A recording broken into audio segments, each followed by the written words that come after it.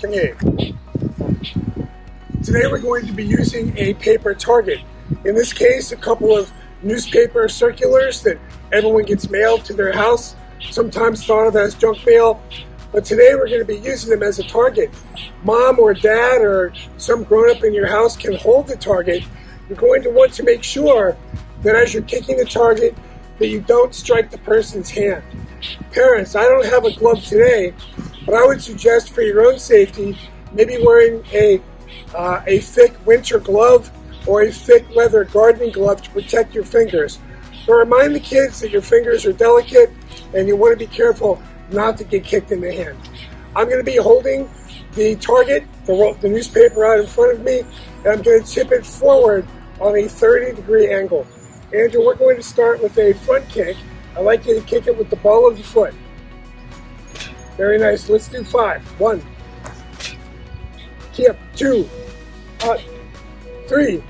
Uh, you can see that Andrew is using care not to hit my fingers. Four. Uh, five. Now Leo's turn. I'm going to hold the paper out away from my face.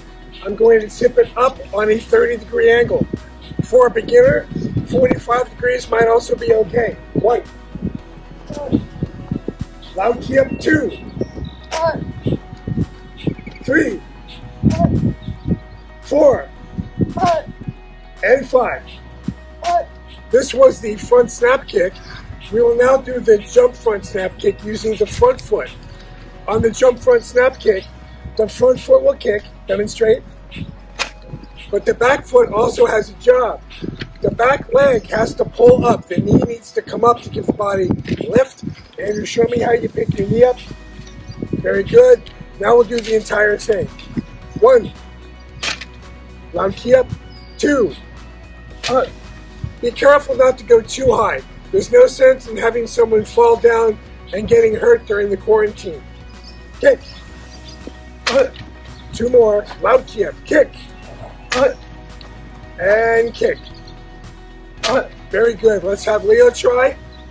Remember to pull your back knee up to give your body lift. One. And keep your hands up, always protecting your face. Two. Very good. Looks like my paper is taking a beating today. Three. And four. And five. That's what happens when you train your students to be too strong. The next kick will be the axe kick. I'd like you each to practice right now while I gather my target 10 axe kicks.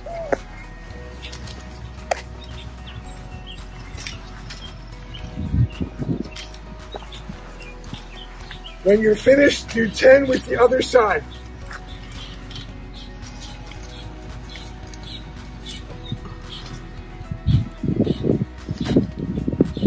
Time I'm going to hold the targets out in front of me.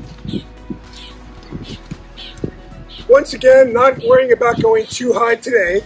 We don't need any slip and fall accidents. Okay, Andrew, you're going to kick the target five times with each foot. Being careful not to strike my fingers.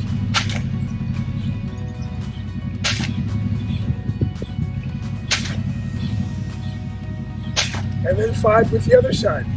One, two, keep your hands up. Three, always protect your face. And Leo. Ready, one.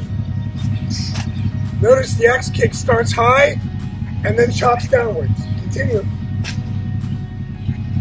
Keep your hands up. When you're at home, moms and dads remind the students to keep their hands up, protecting their faces. If you have a piece of cardboard box, it may work better than the newspapers. You might also use something like a pillow. I know a lot of our students have invested in a pork chop hand target when asked to do so before.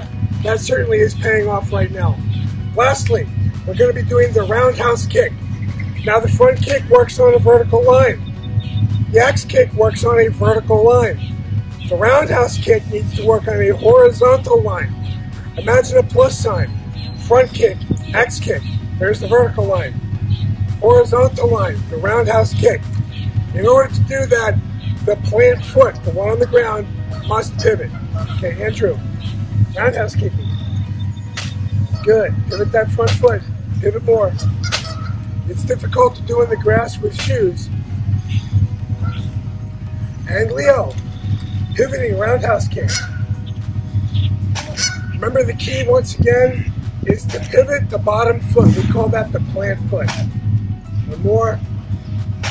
And Chanyo. Your game. Remember parents at home, any kind of a hand target, a pillow, a piece of cardboard, or as I was using simple newspaper circulars are great. Not a bad idea to wear a leather or winter glove on your hand to protect your fingers. Enjoy, and we hope to see you back in the dojo very, very soon.